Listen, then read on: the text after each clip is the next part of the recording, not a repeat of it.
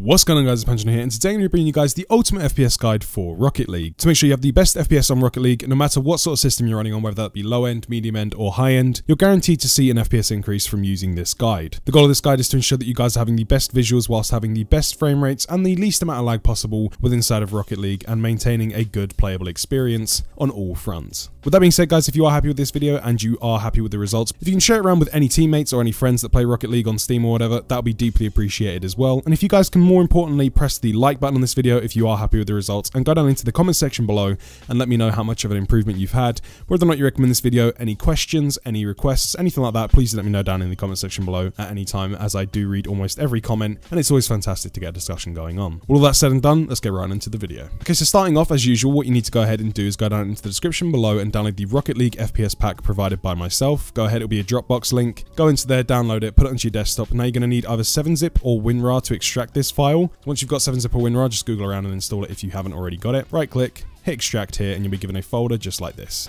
Once you guys have got the folder, go inside of the folder and you'll notice there's a CCleaner folder, game configs, unparked CPU, launch parameters, and time resolution.exe. Make sure that all those files and folders are there and then we're pretty much good to go. Okay, so starting off, we're going to be doing the simplest and quickest parts first for the game files. So what we're going to be doing is going into the launch parameters.txt. Inside of here, we're going to be copying all of the launch parameters here from where it says mat anti-alias 0 all the way to malloc. We're going to be copying just like so. Then we're going to be going into Steam, going over to Rocket League in Steam, right clicking, going to properties, going to set launch options and inside of here we're just going to go ahead right click and hit paste it should look just like this once it looks like this press ok and then hit close. Next what we're going to be doing is going ahead and installing our game config. To do this go into the game configs folder and you'll see a TA system settings.ini. Now to get inside of this what you need to go ahead and do is go down into your file explorer down here, open up a new tab and go to documents or you can simply just go to documents on the left hand side here.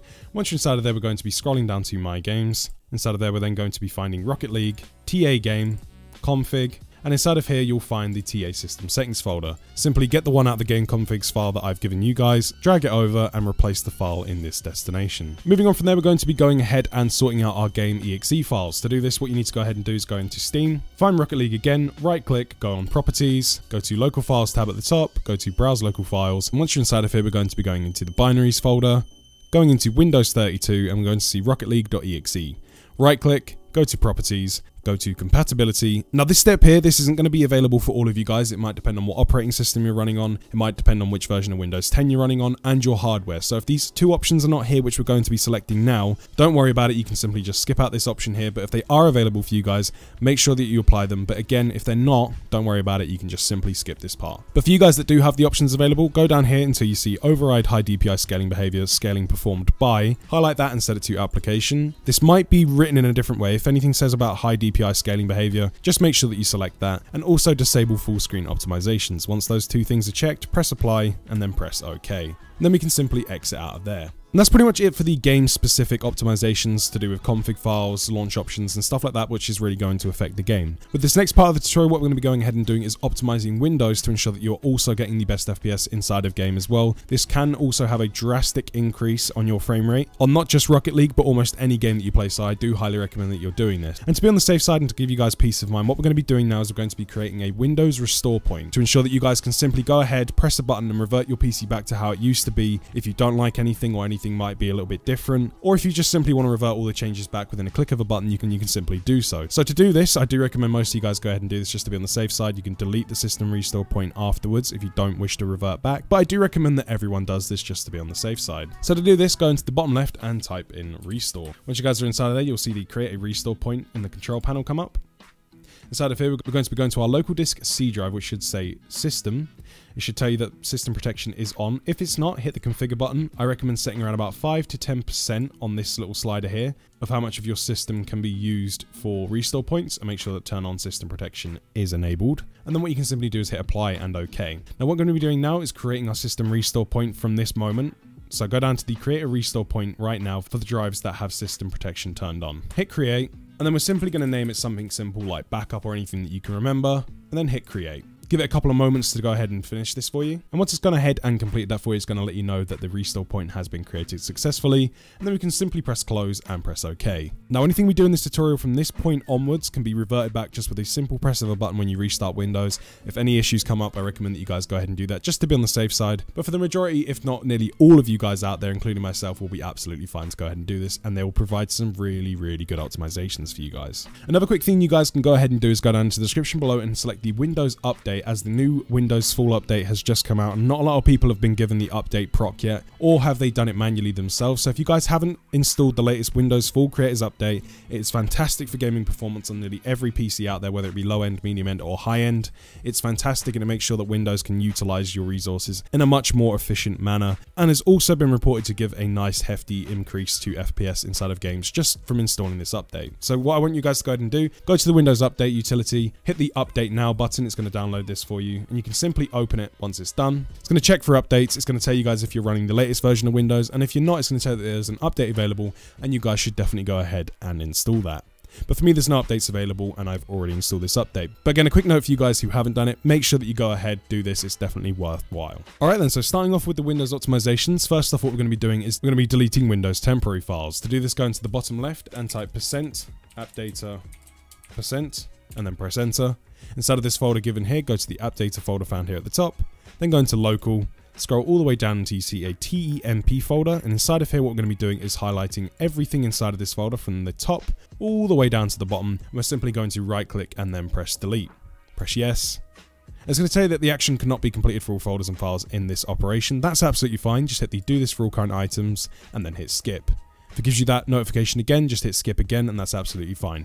And you'll notice that nearly 99% of the stuff inside of this folder has been removed. Basically everything that's gone ahead and removed for you guys there are all excess Windows temporary folders and files from days, weeks, months, maybe even years back depending on how old your system install is. And they're pretty much files that have just been sat there that have been dumped there by excess programs that you might not even have anymore that are not being utilized by Windows as the only files and folders that were being used by Windows are the only ones remaining. So that's crazy. It's always fantastic to know how much space space has actually been removed out of that folder from some people. I've heard stories of people are removing a couple of hundred megabytes all the way up to around about 60 gigabytes. So it's absolutely crazy. So if you guys let me know in the comment section below how much you guys have just removed there, that would be absolutely fantastic as there's some wacky stories that come out of there. And once you guys are done inside of there clearing out your temp folder, you can simply just exit out. And what I like to do then is also empty our recycling bin. Next, what we're going to be doing is cleaning up our Windows startup items. To do this, go into the bottom, right click anywhere on your taskbar that is empty, go to Task Manager, then go to the Startup tab found here at the top. Now inside of here, these are all the Windows startup items that boot up whenever you log into Windows. So if you guys go ahead and restart your PCs usually, and then you log into your account and it takes around about half an hour before you can do anything or open anything and your PC's really sluggish and you dread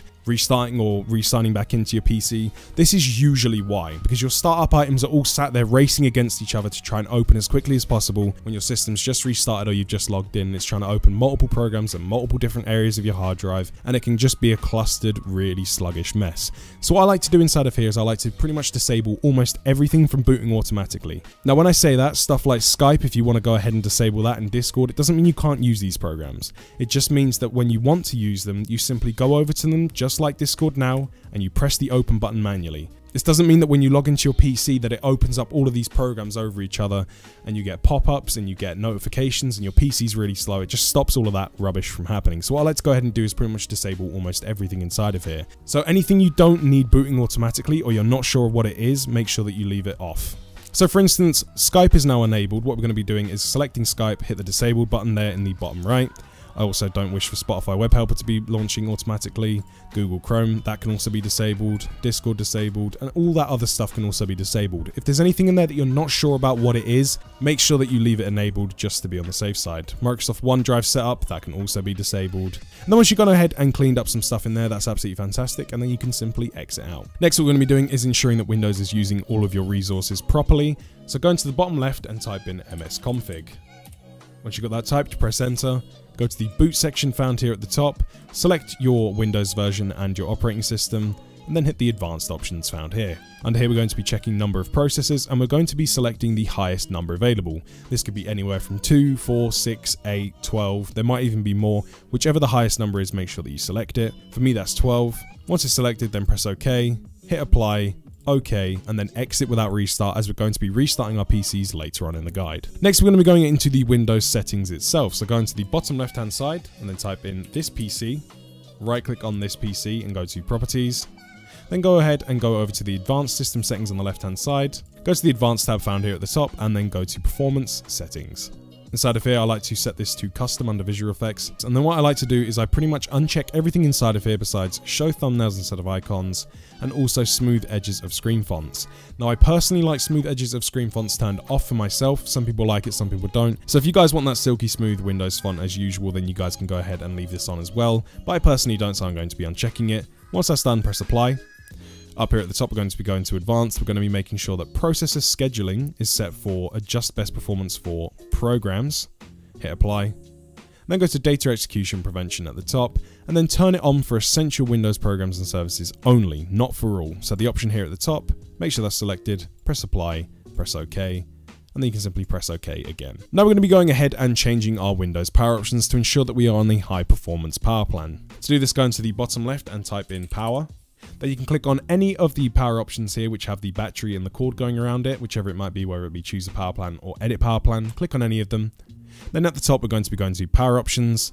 We're going to be going under show additional plans and we're going to be looking for the high performance plan. Make sure the high performance plan is then selected and then you can go ahead and press change plan settings. What we're interested in doing is going into change advanced power settings and then inside of here we're going to be going into the hard disk option turn off hard disk after, and in the setting, select it and make sure that you set the number to zero. Then press apply, scroll all the way down to processor power management, press the plus key, go into minimum processor state and maximum processor state and ensure that they are both set to 100%. If they're not, double click, go in, set them to 100 manually, press apply and then press OK. You can then do save changes and you can exit out of your power options. Now what we're going to be doing is going ahead and going back into the FPS pack provided by myself, go inside of there and go to the unpark CPU utility, and inside of here simply go into unparkcpu.exe and double click. Once you're inside of this utility program, go ahead and hit the check status button. This utility here ensures that all of your CPU cores are unparked, so Windows can use them when and if it's needed and at 100% if needed as well, and it can't throttle it. This might sound scary, but it basically means that if a game needs the resources, the operating system and your hardware are going to give the game the resources it needs to ensure that you guys get the best performance possible. Once it's gone ahead and checked your status, it's going to come back and show you a 0 and a 1 value. It's going to tell you if your status is parked or unparked. Now, if you haven't done this before, you're more than likely going to see the status is parked. All you simply then need to do is hit the unpark all button even if it says unparked, make sure you hit unpark all and then wait for it to go ahead and change the registry settings. Then once it's done, you're more than likely going to see that it's gone and set it to unparked. If it was already set to parked, that should be changed now. And then you can simply exit out of the program. Now what we're going to be doing is going ahead and going back into the FPS pack provided, going inside of the CCleaner setup and running that. Once you're inside of the setup, hit the install button and then simply hit run CCleaner. CCleaner is basically a free utility cleaning program to ensure that your system is being flushed of any excess dump files, any excess trash files, anything that you don't necessarily need that's just being stored in your PC and not being used is going to be cleaned out by this program. It's not going to go and delete your files for you, so you don't have to worry about that. It's just simply going to remove any excess temporary or caching files from your system. So what we like to do is go into the cleaner option here at the top, then hit analyze. And once the analysis is complete, it's going to go ahead and let you guys know how much it's going to remove for you. And it's going to tell you how long it took to do that. And it's going to give you a brief summary of what it can go ahead and remove for you. For me, it's only going to be removing 20 megabytes, but that's absolutely fine as I only did my last CCleaner analysis yesterday. So if you guys have never done this before, you could be seeing gigabytes upon gigabytes there. Again, let me know in that comment section down below as it's crazy what some people come out and tell me. But what we're interested in doing is going ahead and hitting the run cleaner option and pressing OK. It's going to tell you that Windows Explorer might need to be closed. That's absolutely fine. Just hit yes. And then once it's done, it's going to tell you cleaning complete. It's going to tell you how long it took to do so. And it's going to tell you what it went ahead and removed for you. And once it's done, that's pretty much you done with CCleaner. I recommend using CCleaner either on the first or the last day of every month to stay on top of your system optimization and to ensure that you don't run into any problems when running games and your system just stays up and running to the best of its ability. Now, another handy part inside of CCleaner, what I want you guys to take note of here is it will tell you what your GPU is. I'm personally running an NVIDIA GeForce GTX 970. This might say something along the lines of AMD Radeon or it might be a different NVIDIA card but that's absolutely fine as I want you guys to just go ahead and take a mental note now as to what GPU it is that you're running, as it is important for the next part of the video. The next part of the video is going to be updating your GPU drivers. So just like what CCleaner told you, whether you guys are running an NVIDIA GeForce card or an AMD Radeon card, go down into the description below and go to the corresponding link for your GPU drivers, whether it be AMD Radeon or NVIDIA GeForce. For instance, we're going to be going to the GeForce site for you GeForce users right now. What I want you guys to go ahead and do is go to the automatic driver updates tab found here at the top and then hit download now. That utility will download, just simply follow the on-screen prompt and it will go ahead, detect your GPU for you and download you the latest driver. Just simply follow along with it and it will do everything for you. For you AMD Radeon users, go to your corresponding link, go down here to where it says automatically detect and install your driver, hit the download now function and simply follow along with the setup wizard and it'll go ahead and download your driver for you, detect your GPU and install it for you. Just make sure that you allow it to do so. And once you guys are done with everything inside of there, what I want you guys to go ahead and do right now is go ahead, restart your PCs, turn them off, turn them back on again, come in, boot into Windows, make sure that everything is working fine. You'll more than likely find that you log into Windows a lot faster than you're used to as you've gone ahead and cleaned out a lot on your system. It might have also sped up the overall system responsiveness as well. Simply come back onto this video, open up Steam, and then we're going to be going on to the next steps from there. Okay, so once your system is then restarted, go ahead, boot into Steam, go ahead, go over to Rocket League. We're not going to be booting just yet, as we're going to be doing another quick step just to ensure that you guys boot the game properly. Go into the FPS pack provided below, go ahead, get the time resolution.exe and drag that onto your desktop. This is simply a program to make sure that Windows can access your hardware and the operating system and the game can all talk to each other at a much more sped up rate to ensure that Windows can access your system resources to ensure that you guys have the best frame rates possible, the least amount of lag and reduce input lag in the game as well to ensure that you have the best experience. Very simple and very good utility program to use on almost every game. So what we're going to be doing is putting that onto the desktop. Then we're going to be going over to timeresolution.exe, booting into that and hitting the maximum button. Then once we're done playing, simply close out of the game and you can come back into time resolution and hit default. And then you can simply exit out of the program. But seeing we're about to be playing, we're going to be going into time resolution, hitting the maximum button and minimizing the program whilst we play. Then once that's all done, you can go ahead, go into Steam, and then you can simply boot into Rocket League. Then once you guys are inside of Rocket League, if you're using an FPS counter, whether it be Fraps or Steam or anything like that to see what your FPS is, you'll notice that the FPS is now also uncapped from 250, so you'll get unlimited FPS. I recommend that you guys go ahead, go into your options menu as most of your video options will be reset, and you can also go in here and you can turn off any of these if you wish to do so. They're pretty much optimized for the best balance of visual quality and performance to make sure that you guys have the best overall experience and the game looks nice and runs well. What you guys can also go ahead and do if you're running on lower end machines is you can simply go ahead, uncheck all of these options inside of here, turn off everything to high performance and turn off every graphics option available. And you can also bump down your resolution if you wish to do so.